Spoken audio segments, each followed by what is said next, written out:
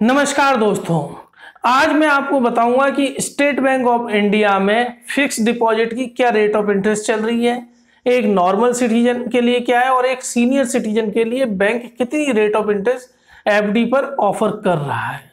ये आपके सामने चार्ट है। इसके अंदर आप गौर से देखेंगे तो मैंने डेज़ के हिसाब से बनाया हुआ है कि सात दिन से लेकर पैंतालीस दिन तक 2.59 नॉर्मल के लिए लगेगा और सीनियर सिटीजन के लिए 3.4 लगेगा। आप ये मान के चलिए, जो भी रेट ऑफ़ इंटरेस्ट एक नॉर्मल व्यक्ति के लिए है सीनियर सिटीजन के लिए 0.5 ज़्यादा है। अगर आप मैक्सिमम देखें तो जो रेट ऑफ़ इंटरेस्ट है, वो तीन से पाँच साल के लिए है। नॉर्मल व्यक्ति के लिए 5.3 है और सीनियर सिटीजन के लिए 5.8 है। तो आप देख सकते हैं कि आप, ये जो टेन्यूर है, इसी टेन्यूर के बीच में आप स्टेट बैंक ऑफ़ इंडिया से या तो ऑनलाइन या ऑफलाइन अपना फिक्स डिपॉजिट बना सकते हैं।